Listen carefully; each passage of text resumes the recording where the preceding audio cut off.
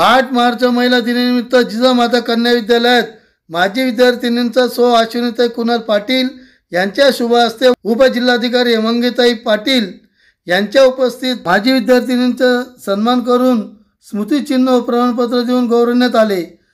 सत्कारार्थी माजी विद्यार्थिनी यांनी आपला स्वतःचा अनुभव सांगितला. उपजिल्हाधिकारी हेमंगीताई पा म्हणाले रात्रीची स्वप्न पाहतो ते दिवस स्वप्न असतात. उघड्या डोळ्यांनी जागेविना दिवसा स्वप्न पा त्याचा पूर्तीसाठी प्रयत्न करा व उच्चांक भरारी घ्या अशा शब्दात मनोगत व्यक्त केले. प्र या प्रसंगी विद्यालयाच्या प्राचार्य सो अपूर्व विजय पाटील मान्यवरांच्या हस्ते छप्पन माजी विद्यार्थिनींचा सन्मान करण्यात आला. सूत्रसंचालन विशाल ठाकरे यांनी तर प्रास्ताविक प्राध्यापक प्रतिभा सुरवंशी तसेच अतिथी परिचय श्री सी टी पाटील यांनी केला. तर स्वागत गीत सो मनीषा गोसाई यांनी केला. फलक लेखन S V Gogre S V Patil शिक्षक शिक्षक बंधू भगिनी यांनी मोठे परिश्रम घेतले. महिला सक्षमीकरणाच्या दृष्टिकोनातून आणि आमच्या जिजामाता कन्या विद्यालयाच्या प्रांगणातून स्वकर्तृत्वावर कुठेतरी उंच आणि उंच भरारी मारत असणाऱ्या आमच्या माजी विद्यार्थिनी यांचा सत्काराचा कार्यक्रम आज आयोजित केलेला आहे. कुठेतरी त्यांच्या पंखाला बळ देण्याचं काम आमच्या जिजामाता कन्या विद्यालयाने दिलं. आणि त्या पंखाला मिळालेलं बळ त्यांनी उंच उंच भरारी घेत शाळेचं आणि संस्थेचं नाव लौकिक वाढवण्यासाठी पुढे कार्यरत ठेवलं. त्यांच्या या कार्याला सलाम म्हणून आजचा हा कार्यक्रम आम्ही इथे साजरा करीत आहोत. या कार्यक्रमासाठी महत्वाचं कोणताही कार्यक्रम असला तर त्यासाठी कार्यक्रमाला अध्यक्षांची आवश्यकता असते.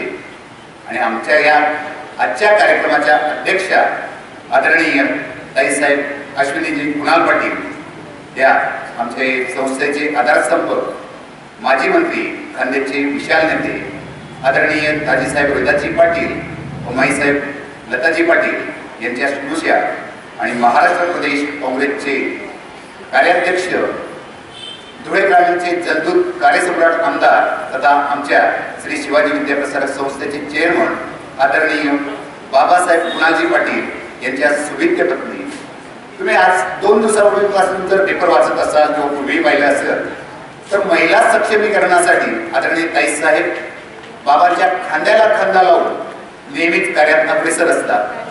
महिलांवरचं काही प्रश्न असतील तर महिला हिरिरीने त्यांना भेटून त्यांच्या प्रश्न त्यांच्यापुढे मांडतात आणि ताईसाहेब तो प्रश्न सोडवण्यासाठी अग्रक्रम घेतात. आणि बाबांच्या पाठीला लागून दाजीसाहेबांच्या पाठी बोलून महिलांच्या समस्या सोडवण्यासाठी पुढाकार घेत असतात. बाबासाहेबांनी तो प्रश्न विधिमंडळात मांडून शेत म्हणजे सर्व शेतकऱ्यांच्या प्रश्नाला वाचा फोडली जेणेकरून शेतकऱ्यांना काहीतरी लाभ होईल. एवढं सहकार्य कार्य करण्याचं काम करणाऱ्या आदरणीय ताईसाहेब या निश्चितच आपल्याला प्रेरणा देण्यासाठी या ठिकाणी उभ्या आहेत आलेल्या आहेत. त्यांचं मी जिजामाता कन्या विद्यालयाच्या तर्फे हार्दिक स्वागत करतो.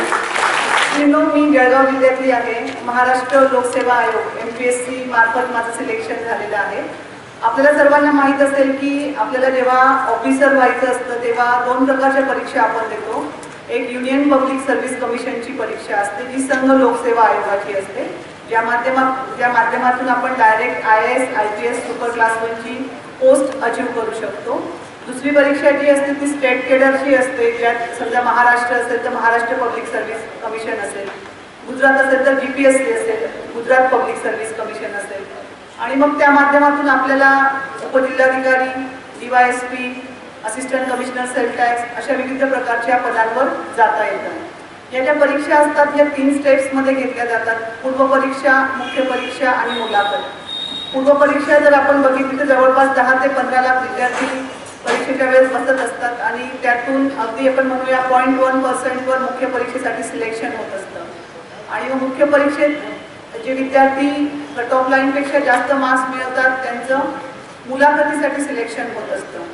आणि मग तुम्हाला जे मार्क्स मिळाले आणि तुमचं जे प्रेफरन्स आहे त्या अनुषंगाने तुम्हाला उपजिल्हाधिकारी किंवा उपअधीक्षक पोलीस किंवा सेलटॅक्समध्ये किंवा लँड रेकॉर्ड डिपार्टमेंट आपले जे महाराष्ट्र शासनाचे विविध डिपार्टमेंट्स आहेत त्यातून तुमची निवड होत असते. कुठली परीक्षा तसं पाहिलं गेलं तर कठीणच असते. आता तुम प्रत्येकाने तुम्ही स्वतःचं ध्येय ठरवलेलं असणार. पाचवी सहावी सातवीच्या ऑनवर्ड्स विद्यार्थिनी आहात. तर कुणी कुणी ऑफिसर व्हायचं ठरवलंय सांगू शकाल? हात वर कराल की कुणाला डिवाइस पोलीस व्हायचंय कलेक्टर व्हायचंय? यस बँक बेंचर्स जे असतात ते नेहमी सक्सेसफुल होतात. ते त्याचं उत्तम उदाहरण आहे. कारण त्यांच्यात जी फायर असते आपण म्हणतो की जे स्वप्न आपण पाहतो रात्री जो स्वप्न पाहतो तो कधीच सक्सेसफुल होत नाही कारण ते दिवा स्वप्न असतात. दिवसा आपण जे स्वप्न पाहतो आणि त्या स्वप्नांसाठी जी मेहनत घेतो जी फायर आपल्यामध्ये असते काहीतरी करून दाखवण्याची जिद्द असते आणि मेहनतीची तयारी असते आणि एवढंच राहून चालत नाही तर स्मार्ट वर्क देखील महत्त्वाचं असतं. या सगळ्या गोष्टींची सांगड जो घालतो तो आयुष्यात नेहमी सक्सेसफुल होतो. नो मॅटर की तुम्ही ऑफिसरच व्हायला पाहिजे किंवा डॉक्टर व्हायला पाहिजे इंजिनियर व्हायला पाहिजे. आपण खूप वेळा असं बघतो की बरेचसे विद्यार्थी किंवा विद्यार्थिनी ब्राईट असतात परंतु फ्युचरमध्ये कदाचित त्या हाऊसवाईफ होतात किंवा एखादा विद्यार्थी खूप हुशार असतो. तो इंजिनियर डॉक्टर होण्याचं त्याचं मेरिट असतं परंतु तो उद्योजक होतो. की प्रत्येक